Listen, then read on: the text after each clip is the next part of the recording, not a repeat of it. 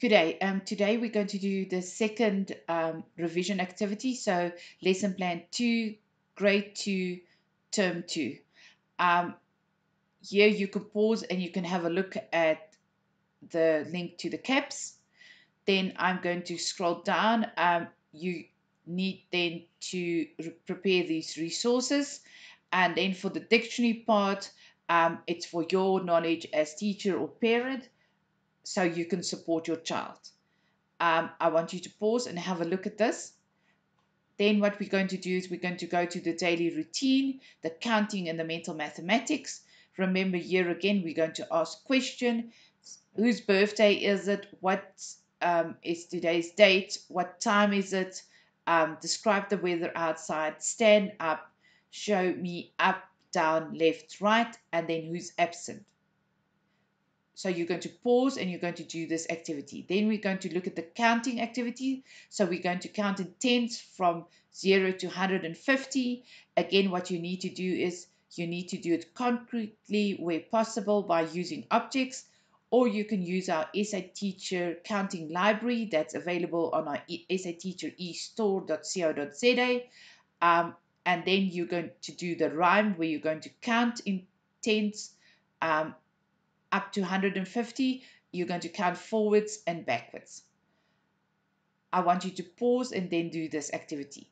Then for the mental mathematics, um, the mental mathematics um, again is you have the 10 questions that you need to ask the child orally. The child can then give you the answer orally or write it down.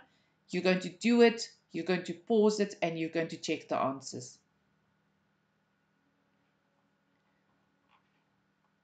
Okay, so we're going to go to the lesson today. So today, um, the previous lesson, what we did is we made use of base 10 blocks, but we can also make use of beads. Um, use either or.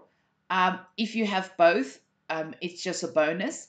Um, so again, as we're going to count 10, 20, 30, 40, 50, um, I had a friend that did a beautiful example with a child last night where she used popcorn. So she colored the first 10 and then she did the next 10. So there's various things that you can use and try to be creative.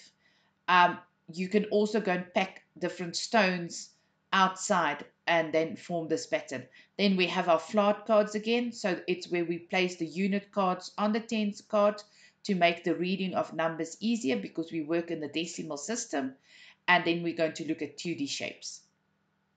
So just to give you an overview, again is we're going to count a variety of objects that we already done in the counting activity. Um, we're going to use uh, flat cards um, where we can add then tens and units. Um, it's very nice if you have all the tens and all the units and you could do a quick activity like here where we say 23 equals to 20 plus 3 or we say 20 plus 7 equals to 20, 27 so do it from both directions. Give the answer. They need to give you then the the the place value the expanded or we call it expanded notation 20 plus 3 and then you can give them 20 plus 7 and they need to tell you it's 27 um, then what we can do is um, always keep this handy and you can do this over time where you have make um, cards with the numbers 0 to 100 on them and you can use this then to read the symbols. Then, um, very important 100 board here again is you can email us at info at sateacher.co.za so we can send you some number boards. Um, the first one you can see where we count in twos. So as we count in twos, we showed on the number board. Here we count in fives and here we count in tens. Very important so learners start seeing these patterns on the boards.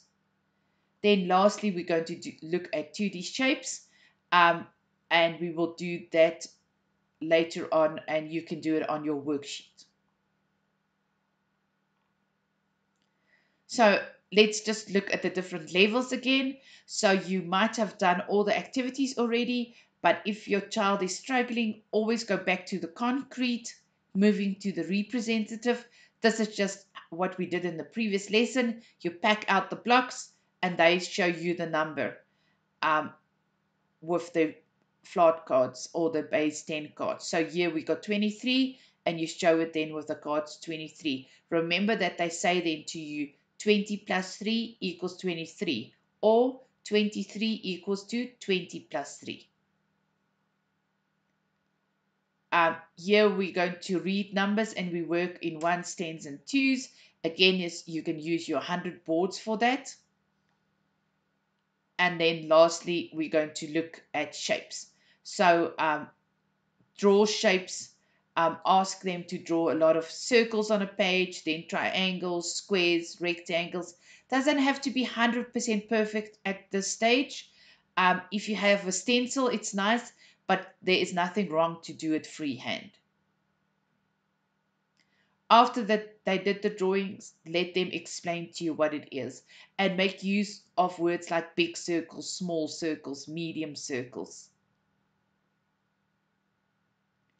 Then we're going to carry on with the worksheet. So I'm going to scroll through it. You just follow the instructions and you complete it. Here are very nice activities on shapes.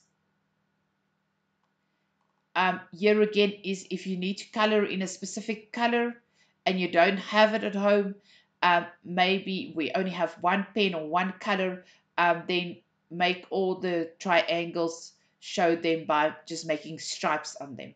Um, the rectangles, just make little dots on them. Um, so there's different options and different things that you can do if you don't have all the resources at home. Then lastly, we come to the problem solving.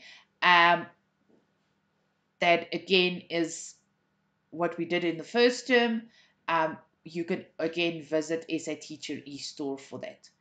Um, and then lastly, in the consolidation. If it if you tick all the greens, you carry on with the next lesson.